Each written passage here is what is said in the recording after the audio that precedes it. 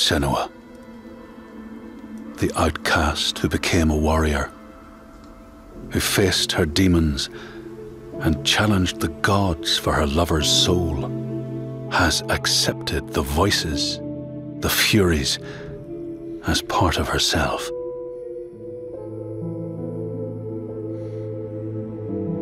Just like her mother Galena, she was not like other people.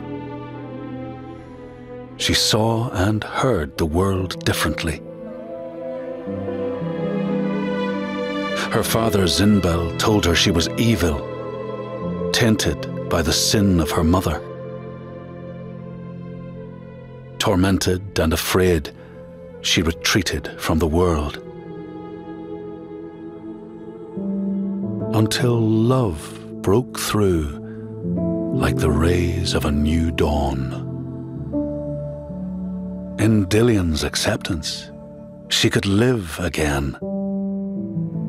He gave light to her mind and freed a warrior from her body. But the voice of her father stayed with her, reminding her of her curse. And when the plague came to her land, the people blamed Senua.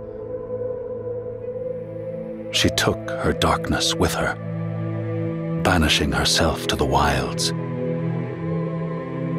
So she was not there when the Northmen massacred her people and sacrificed Dillion to the god of hell. Senua's torment was so deep that the world around her fell away. She took the head of her beloved, the vessel of his soul, and vowed to go to hell herself to save him. Through mist-shrouded horrors, she fought to find the secret path that would lead her to the very gates of hell. But the way was marked by fire and illusion. Senua had to fight the gods that guarded these paths and stave off the rot which threatened to consume her mind and end her life. Only conquest could open the gates. Only blood would bring her face to face with Hela. Face to face with defeat.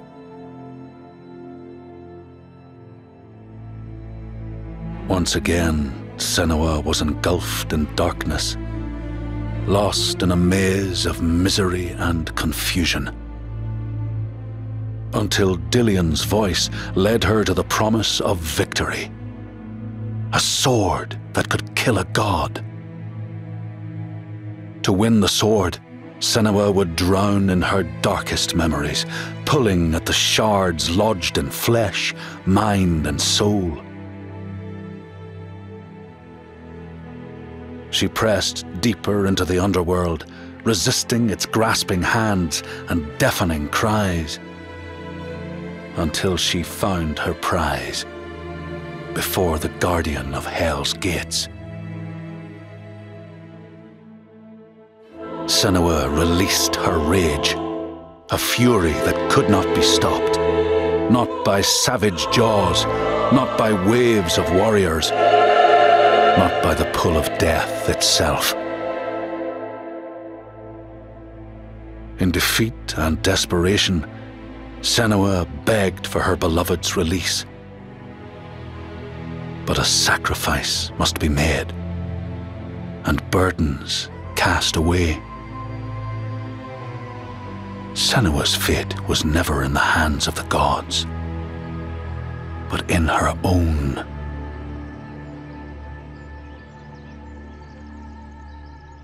Only she could choose, out of love, to live, to go on and to take us with her.